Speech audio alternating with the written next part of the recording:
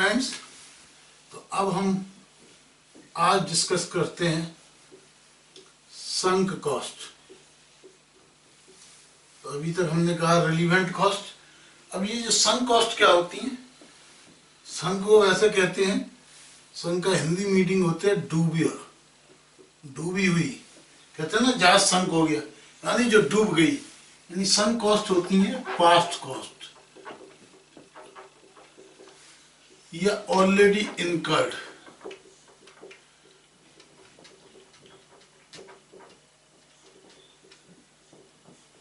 और या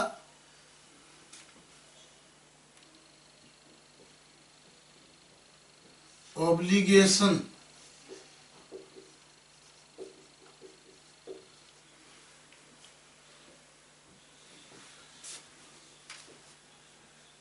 already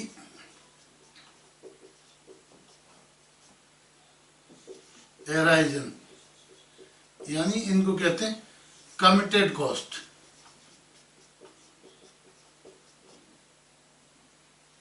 committed cost यानी इवन फ्यूचर यानी हमने कमिटमेंट कर लिया, अभी खर्च नहीं किए, लेकिन हमें खर्च करनी है। या तो खर्च हो चुकी, खर्च हो खर्च हो चुकी है। इसका भी मतलब ऑलरेडी खर्च हो चुकी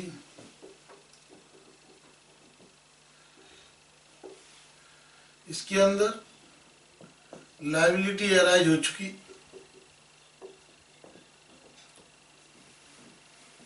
ओके तो ये जो सन कॉस्ट होती हैं, ये ऑलरेडी खर्च हो चुकी हैं। तो these are these are the costs which does not have any influence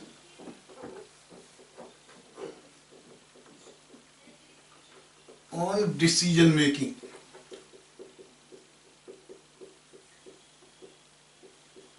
तो ये जो कॉस्ट हैं, ये डिसीज़न मेकिंग के लिए बेकार कॉस्ट बेकार कॉस्ट है इरिलीवेंट है।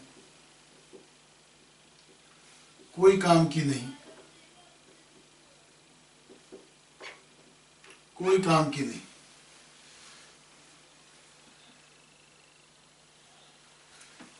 ठीक है? सपोज़ एक कंपनी कंपनी एक प्रोडक्ट लॉन्च करना चाहती है।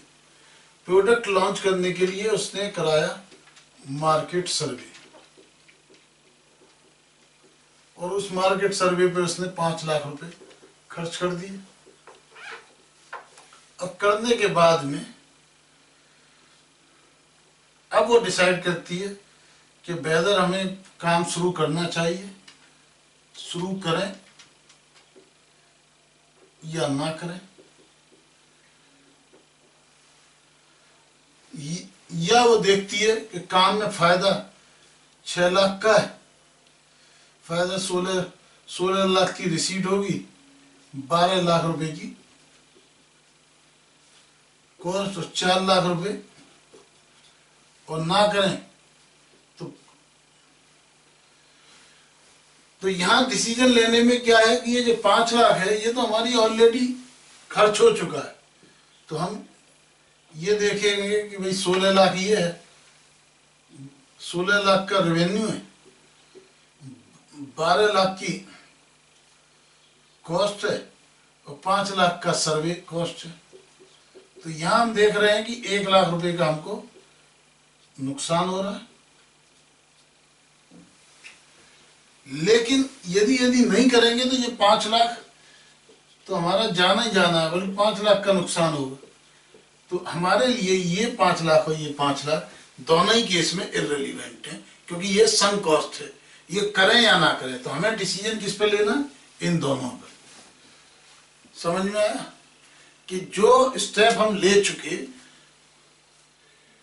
तो वो कॉस्ट संक हो गई। ठीक है? हमें आगे के स्टेप से, यानी जितना आगे बढ़ते जाओगे, आपके पीछे मुड़ने का रास्ता नहीं है, क्योंकि अदरवाइज़ जितना पैसा आपने खर्च किया है तो कहते हैं बिना विचारे जो करे। कहावत है रामायण में, बिना विचारे जो करे, वो पाछे पछताए। वो पाछे पछताए ये रामायण की चौपाई है। तो इसी तरह सन कॉस्ट क्या है जो आपने बिना विचार के खर्च कर दी, या किसी भी तरह खर्च कर दी, अब आप आगे बढ़ते हैं या नहीं बढ़ते, ये तो खर्च हो ही गई। समझ में आ गया? अब एक और एग्ज़ाम्पल से समझिए।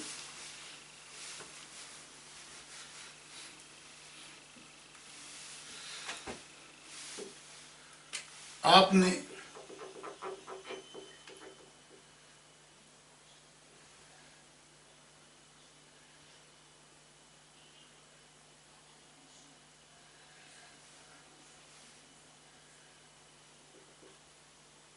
एक घर बनाने का घर अपना सजाने के लिए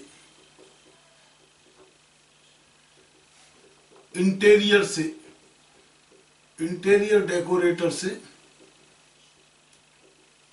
डिज़ाइन बनवाया। खर्चा हुआ पाँच लाख रुपए। और उसने कॉस्ट बताई कि दस लाख रुपए लगेगी।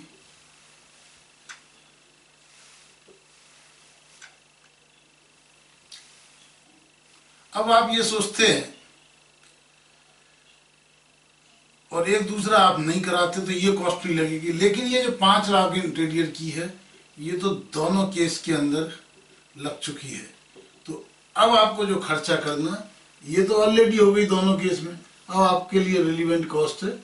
ये और ये जो पाँच लाख ऑलरेडी कर चुके हैं, वो सन कॉस्ट समझ में आया? इसी तरह मान लो आपने डिसाइड किया कि हम कोचिंग देते हैं। कोचिंग के लिए आपने ट्वेंटी थाउज़ेंड रुपीज़ फ़ीस की जमा करा दी है इंस्टीट्यूट में। जब आप जाने लगे तो आपको पता लगा, पाँच हज़ार रुपये का टैक्सी का, या आने जाने का खर्चा होगा।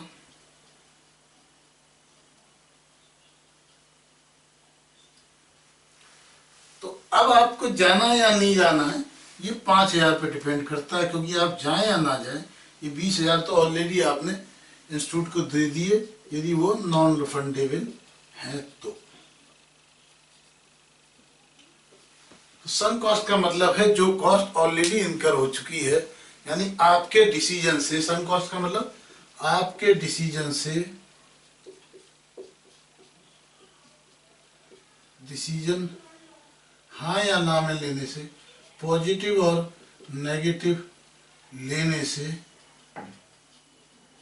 जिस कॉस्ट को पर कोई फ़र्क नहीं पड़ता, ना तो कम हो सकती है, ना खत्म हो सकती है। जो कॉस्ट ऑलरेडी इनकर हो चुकी है दैट इज़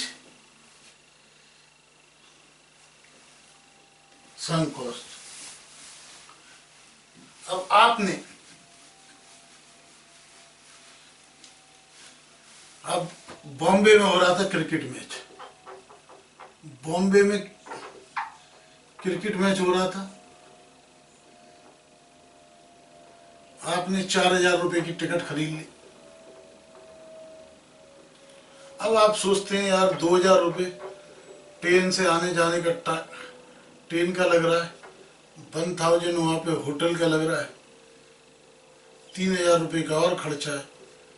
तो टोटल सात हज़ार रुपये खर्च हो जाएँगे। इससे अच्छा टीवी पे देखें।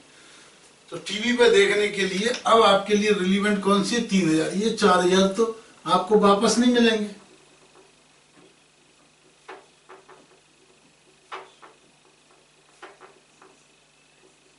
तो ये क्या हो गई आपकी? दिस इज़ सन कॉस्ट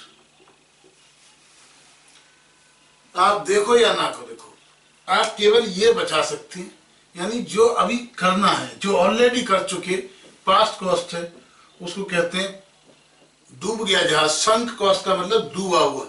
जो रकम आपकी ऑलरेडी डूब चुकी है। ठीक है?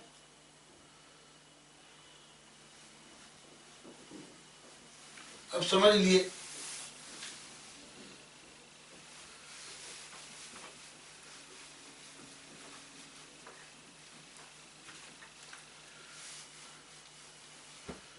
समझिए, आप आए।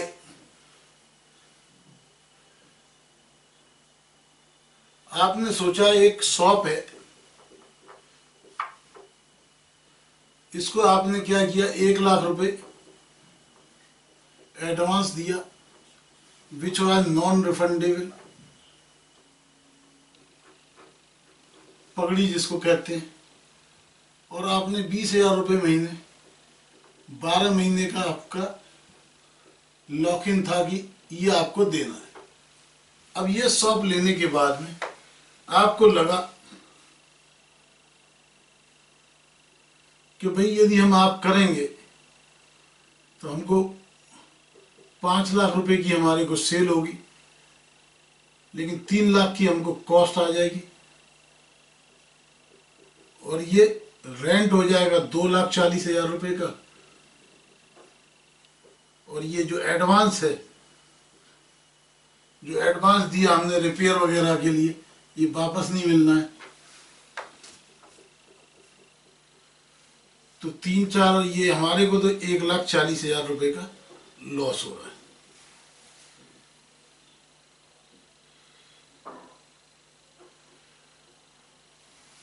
ये रेवेन्यू है। यह आपके पास दूसरा ऑप्शन है। कि आप लाइसेंस पर किसी दूसरे को दे देते हो। उससे आपको एक लाख रुपए मिलता है कॉस्ट कुछ नहीं होती। रेंट दो लाख चालीस हज़ार होता है, एक लाख चालीस हज़ार होता है। इसमें हमको होता है दो लाख चालीस हज़ार रुपए का लॉस दोनों ही केस में तीसरा केस हम कुछ भी नहीं करते। तो ये भी नहीं होता, ये भी नहीं होता, दो लाख चालीस हज़ार और एक लाख। नथिंग कुछ भी नहीं करते, ये बिज़नेस करते हैं। तो हम कुछ करें या ना करें? हमारा ये रेंट तीनों केस में लगेगा। ये एडवांस हम दे चुके हैं। तो जो हम ऑलरेडी कमिट कर चुके हैं, ये सम कॉस्ट है। हमें इन दो के बेसिस पे डिसीज़न निकालना है। इसमें हमें दो लाख का फ़ायदा हो रहा है। इसमें वन लाख का, इसमें नील का फ़ायदा हो रहा है। तो हमें ये वाली कॉस्ट को ना देख के ये डिसीज़न लेना है। सन कॉस्ट के अंदर हमें सीखना क्या है कि जो हमें जो कुछ हम आज तक खर्च कर चुके, अगर हम आगे नहीं बढ़ते हैं, अगर हम आगे नहीं बढ़ते हैं ते हैं तो वो सम कॉस्ट है डूबी हुई है। इसलिए डिसीज़न में के लिए, उसकी कोई के लिए ऐसी कॉस्ट की नो इम्पोर्टेंस नो रिलीवेंस हम केवल फ्यूचर कॉस्ट के ऊपर कॉस्ट पर डिसीज़न लेंगे। ओके आपने क्लास में एडमिशन के लिए पाँच हज़ार रुपये जमा करा दिए। अब आने जाने का मेट्रो का टिकट लगता है। तो आपको क्लास से कितना फ़ायदा है, क्या करना है? क्योंकि क्लास की यदि ये फ़ीस नॉन रिफंडेबल है तो आपको जो कॉस्ट का डिसीज़न लेना है, वो डिसीज़न आपको केवल इसके बेसिस पर लेना है। कि आपके आने जाने के पैसे लग रहे हैं। समझ में आ गया? जो चीज़ हम ऑलरेडी एक्शन ले चुके, जो कुछ हम कर चुके, ठीक है, हमने, हमें जो कुछ करना था, पहले सोचना था, हमने जो कर दिया एक्शन के बाद वो संक हो जाता है, जो कॉस्ट हो गई, वो हो गई। हम डिसीज़न केवल फ्यूचर कॉस्ट के लिए ले सकते हैं, जो कॉस्ट पास्ट में इनकर हो गई, इसको कहते हैं सम कॉस्ट ठीक है? तो ये आपको कॉन्सेप्ट समझ में आया संघ कॉस्ट का? हाँ जी। तो ये आप स्टडी करिए, कुछ होमवर्क में क्वेश्चन करिए, फिर हम आते हैं नेक्स्ट लेक्चर में कुछ और कॉन्सेप्ट के साथ। Thank you thank you very much